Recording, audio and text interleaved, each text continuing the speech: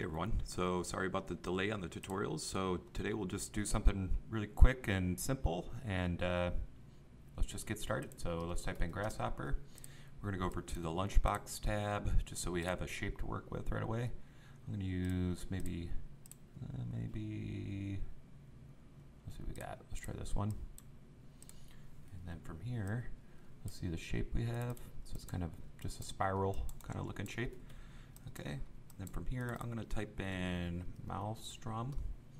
That's gonna make it kind of look like uh, it's in a whirlpool. And you'll start to see it deform here in just a sec. There we go, so it's starting to twist onto itself. And maybe just to speed it up, we'll just turn it into a mesh right away. So just mesh the B-rep, put it into Maelstrom. Awesome, get those lined up. And then I'm just gonna type in, let's do 35 maybe second radius. Okay, we can hide all this stuff to see what our result is. Okay, so we're starting to warp this and you can play with how, you know, whatever this looks like on your own. Um, and then from here, um, I'm gonna type in Catmull Clark to smooth out this mesh because what we're trying to do is just get points and we're just gonna voxelize everything using pufferfish. Um, and then we need to do get the vertices uh, from this mesh. Uh, let's see if we get it right here. Might have to go up to Weaverbird. Uh, right there. And we need the vertices. Okay. That'll give us our points. Awesome. And then in Pufferfish, we'll need to go over to the Mesh tab. And there's this cool voxel mesh. We'll just plug it right into the vertices, and that's basically going to create all these little boxes that are connected. Okay, so if we were to bake that out, go to rendered view, you'll see there it transforms any points, I guess, into just a bunch of boxes that are just, they're all connected and boolean together, so it's really, really helpful. Um, so let's mess with this just a bit more. Um, I'm going to type in, maybe instead of the XY plane, since we're going to be rendering this, let's type in XZ plane. We'll warp it around this side. There we go. To look cool. I'm going to put a custom preview on this so we can view it without baking it every time. Change the color. There we go. And we can hide everything. There we go. Starting to get some pretty cool effects. And then you can change the dimension of each one of these voxels. So if we just plug in the X, the Y, and the Z,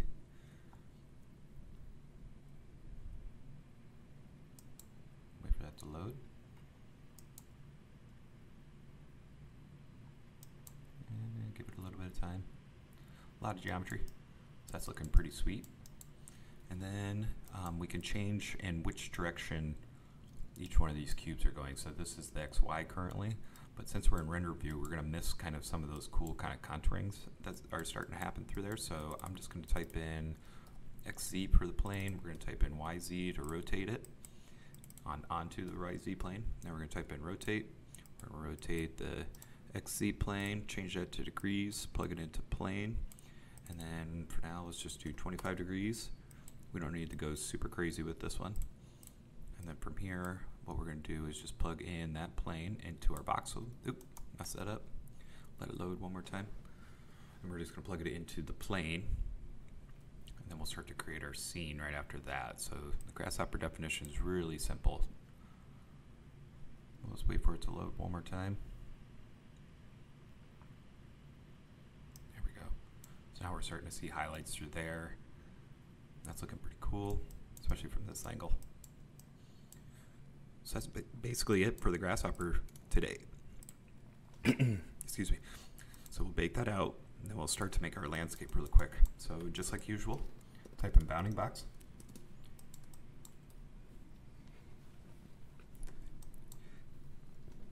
Ooh, excuse me. Um, and then we'll just explode that out. And we'll take the bottom surface, scale that up quite a bit. And then actually on our mesh, let's change a couple materials out real quick while we have it. Uh, the first one, I'm going to leave it as plaster.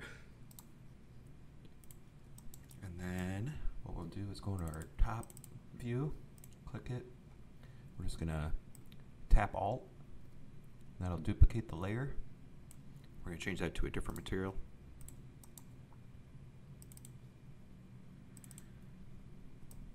can see all those little variations starting to pop through everywhere. And what I'm going to do is just lock that down for now. And we'll take this and let's do kind of kind of a simple scene this this time. Um, 125 by 125 sounds good. A lot of points. We'll turn our points on. Okay, we'll go up to our select tab, hit the brush tool, and for now let's uh, let's pick the hills so are kind of around it. Not selected? Okay, make a hill like that maybe. Where's our view? Our view's probably to be right in here. So raise that up. We can change our model too. So maybe we'll rotate that so we're kind of designing for the view rather than making a landscape for it. That looks pretty good to me. I think that's right there's our view. Okay. I'm just going to type in smooth, smooth that out quite a bit. So nice and gentle. Looks pretty good to me. Okay, let's get a little waterway going in there. Use our paintbrush tool again. I'm going to try to get it going directly through the model. I want to try that one more time.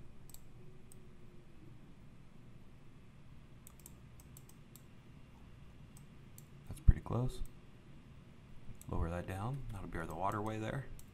We could leave it rough like that as well. Okay, we're going to change that to our grass layer. Bring in the water plane. Oop, wrong one.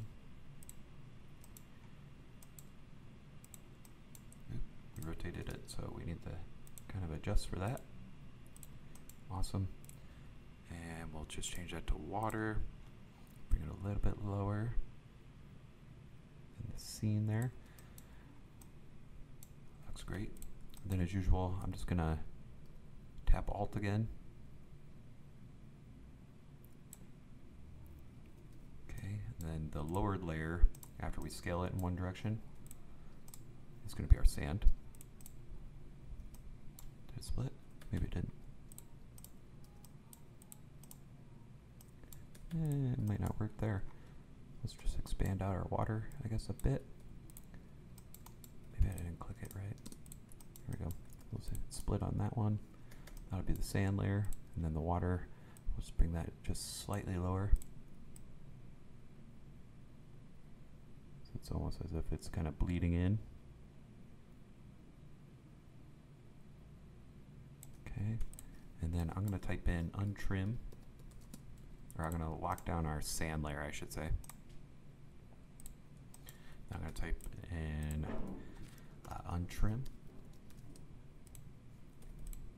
And we're just going to scale 1D this just a bit. Just so it looks like it's kind of bleeding throughout the scene there. Actually, we probably don't even need to. Let's just go back and not untrim it. Leave it as is. And I think we're all set for Lumion. All right, so it imported really nicely into Lumion really quickly. So let's start messing with some uh, materials. Um, let's do the grass first, not leaves. Just wild grass throughout there. And what else should we do? Do the sand here. Water looks pretty good to me. Um, do kind of, yeah, that looks better. Okay, let's get some metal going on here. Do some various, let's do some bronze maybe. Uh, let's try gold. Get some nice highlights onto there. Do some aged iron maybe for that portion. That might be a little bit too dark. Let's change that out for something like that. It's nice and bright. That could look cool. Let's get some landscape going.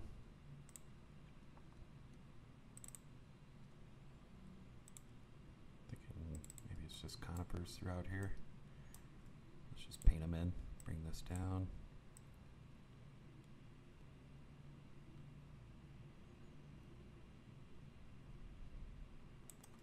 Okay, that maybe.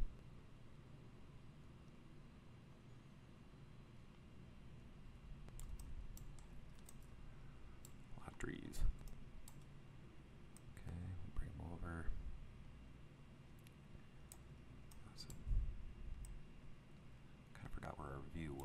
So let's just kind of zoom in so we're definitely putting this model where the view needs to be. I think it's the other side. I might be wrong. Nope, that was the other side.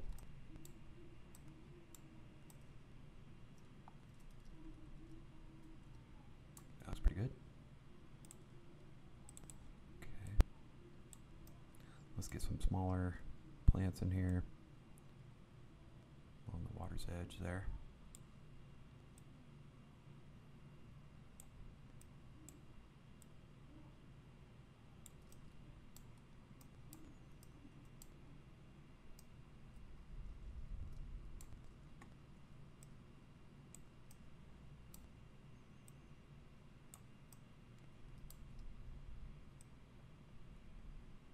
Get along the water's edge again. That looks pretty good. Okay. Let's get a couple dead trees kind of in our foreground there. We probably won't paint these in. But just do uh, cluster placement there. Just a few. That might be too many on its own. Figure it out though. If it doesn't look good, we can always delete. Okay, let's get some birds.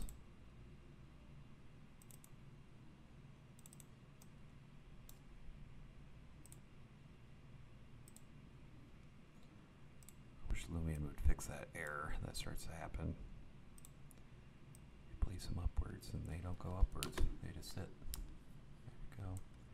Let's put a person in here.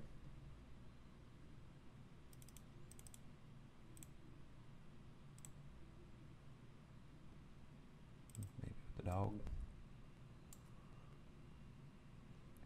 Bunch of just one. Get her nice and close to the scene. Maybe we'll put some cows out there too, or horses.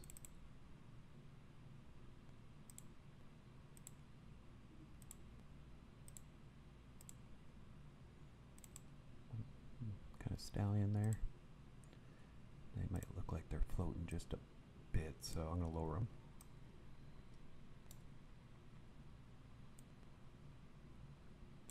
Same with her. Awesome. Let's see what it starts to render out like. Uh, let's do maybe an overcast scene. That looks pretty good. I'm going to change the focal length quite a bit. We do have those logs kind of floating up in the air, which I don't want, but we can always fix that. Birds in the distance look pretty good. Stick with that shot for now. Let's do some weather, precipitation maybe. Then let's add a sun. Make sure that sun height's not blocking everything. I'm going to change out the real skies for a custom sky. And we'll change out the low clouds. We already got a lot of fog happening, so that's looking pretty good for the most part. Might add a few plants throughout there. Plants through here look pretty good. That log isn't the nicest in the world, so we'll probably end up changing that. So let's just go back to our scene there. Add a few more plants. Put a few out here.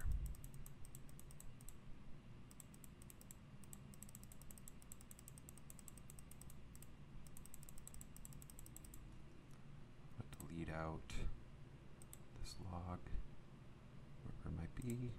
Awesome. Okay, let's go back to our scene again.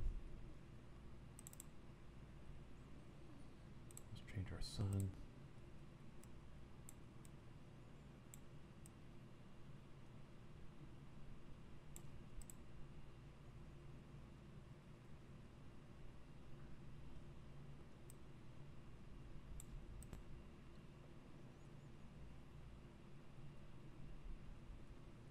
Okay, I might just mess with materials just a hair.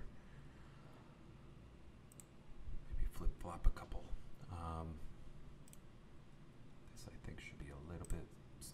something else maybe. Uh, stone for that one. And this will be the gold. Try that out.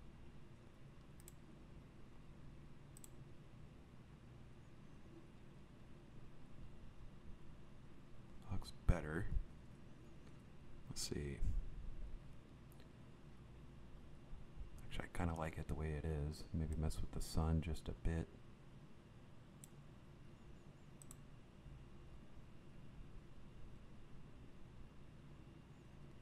If we put a tree right here.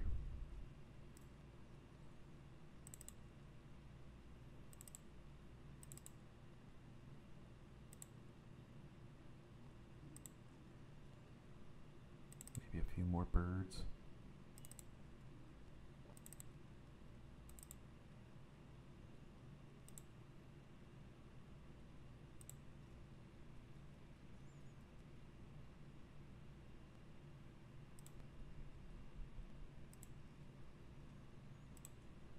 That's starting to look like.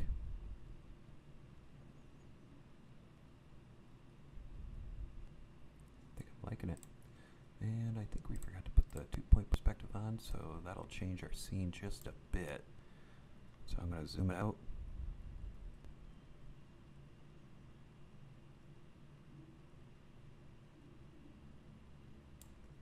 Save that. And then we'll add in one more tree just to kind line it up with our view there.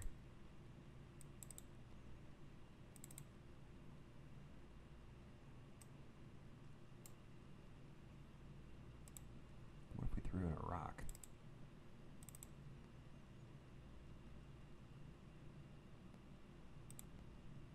Make sure it's lowered.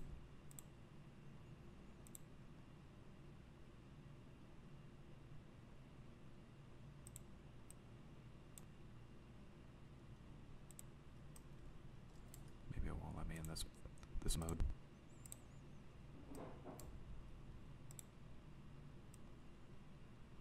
Make sure it's lowered quite a bit. I don't even know if we'll be able to see it. Nope, which is fine. Just the edge of it.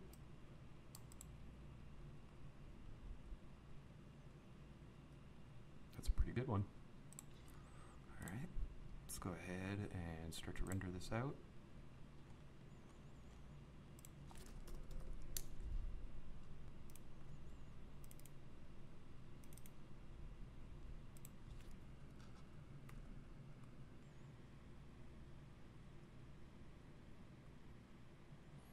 Will have to delete out uh, those plants there so we get kind of more of a view of the horses and all that. But overall, it's a pretty good looking scene. I might change the camera out just a hair more. But after that, I think we're all set for Photoshop.